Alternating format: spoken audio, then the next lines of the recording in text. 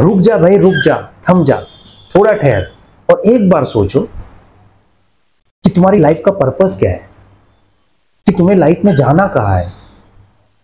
कि तुम्हें बनना क्या है? तुम्हारा सपना क्या है? इस ज़िंदगी की भाग दौड़ में हम लोग इतने बिज़ी हो गए हैं कि बस भाग ही रहे, पता ही नहीं है कि जाना कहाँ है। और मैं आपको एक हकीकत बता दूँ लाइफ की। कि ज़िंदगी की भाग दौड़ में आपको पता भी नहीं है कि आपका कफन बाज़ार में आ चुका है।